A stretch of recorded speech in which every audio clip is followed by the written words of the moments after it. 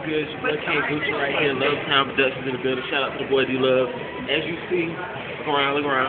We're at Columbiana Mall right now promoting So Hard for This. We got the Back to School Bash coming up this Saturday night at the National Guard Armory. We got Lil Root performing live. We got the boy Adonis performing live. We got C Mob, Stats and Swag gonna be there live. We got we got special guests coming. Can't tell y'all about that yet. You just gotta come to the show and see that. We got NFL players. All y'all think y'all T.O. and Randy Moss and all that? Come out there, you might get to meet your favorite star. What else you got going on out there? We got a hundred dollar crank that Roy contest. Yes. Oh yes, we got that Sarah.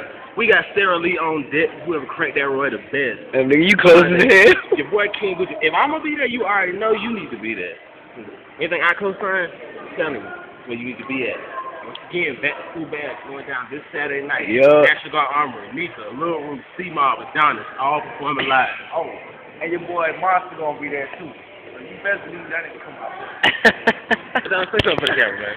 Anyways, man, we in the mall right now. Doing what we gotta do, you know what I'm saying? Uh, Canberries, and, you know. Y'all need to give me one of these, man. For the fans out there, you need to make me one, you know what I'm saying? With the, with the A hat, you know what I'm saying? It is, so we out here from Martin and stuff. This is how we gotta do it.